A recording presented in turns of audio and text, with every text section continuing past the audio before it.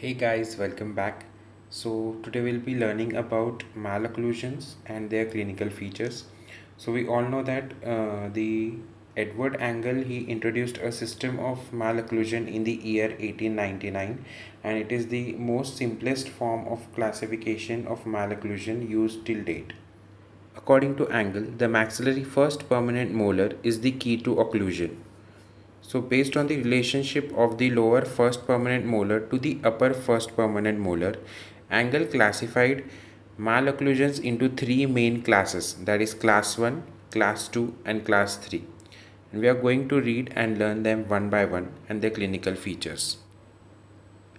Moving on to first and foremost that is class 1 malocclusion.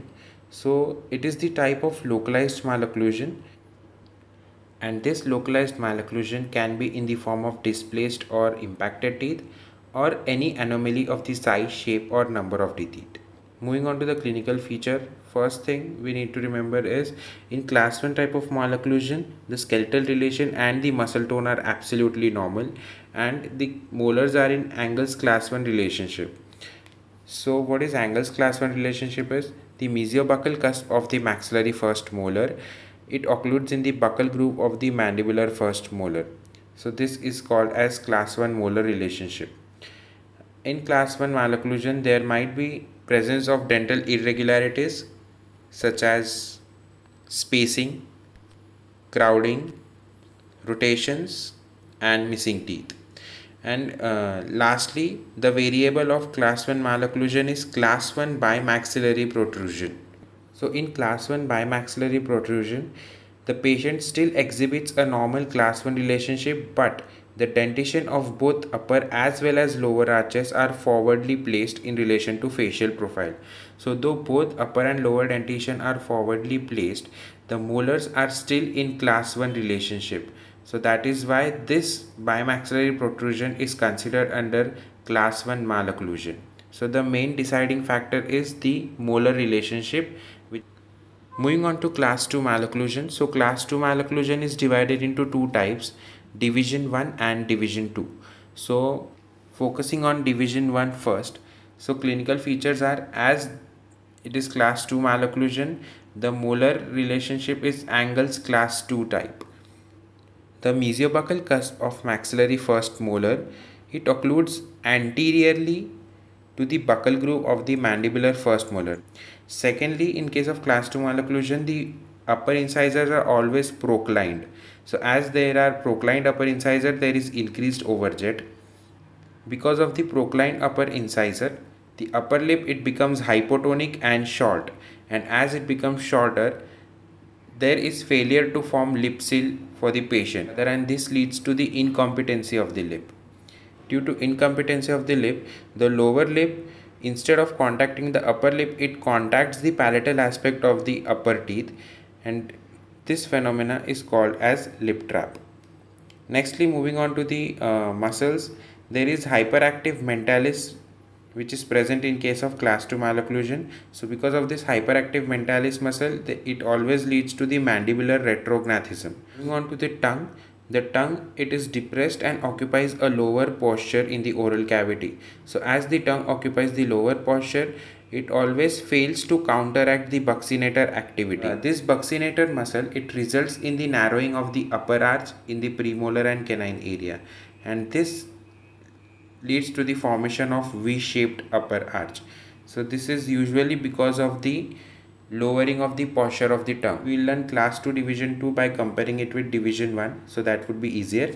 So first feature is maxillary anteriors. In case of class 2 division 1 the maxillary anteriors are labially inclined as we have read before whereas in class 2 division 2 the central incisors are usually lingually tipped and the lateral incisors are labially tipped as we can see in the figure.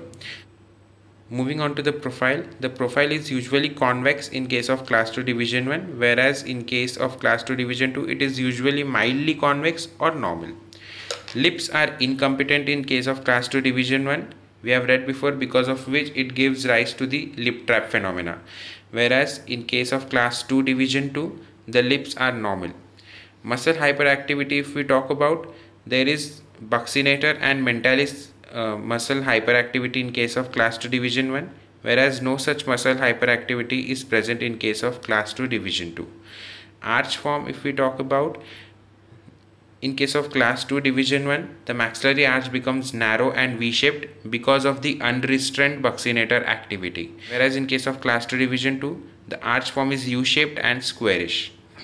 Path of closure is normal for class 2 division 1, whereas path of closure is slightly backwards in case of class 2 division 2.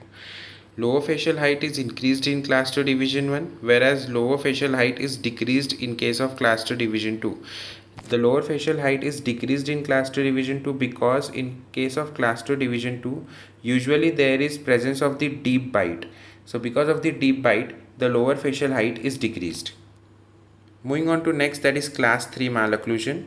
So etiology if we see it is usually because of the mandible which may be large or forwardly placed or maxilla which might be small or retropositioned or combination of both Moving on to the clinical features. In case of class 3 malocclusions, the molars are in class 3 position. In this case, the mesiobuccal cusp of maxillary first molar, it occludes posterior to the buccal groove of the mandibular first molar. That is, the maxillary first molar, it is severely posteriorly positioned relative to that of the mandibular first molar. Second clinical feature, if we talk about lower incisors, lower incisors are usually lingually inclined or might be straighter. There is usually edge to edge or anterior crossbite which is present. In case of class 3 malocclusion also the tongue occupies lower position similar to that of class 2 division 1. So the effect which is seen is similar to that of class 2 division 1 that is there is narrowing of the maxillary arch. So coming on to the variant that is pseudo class 3. So this type of malocclusion it is produced by the forward movement of the mandible during jaw closure. It might be a postural or habitual position of the patient.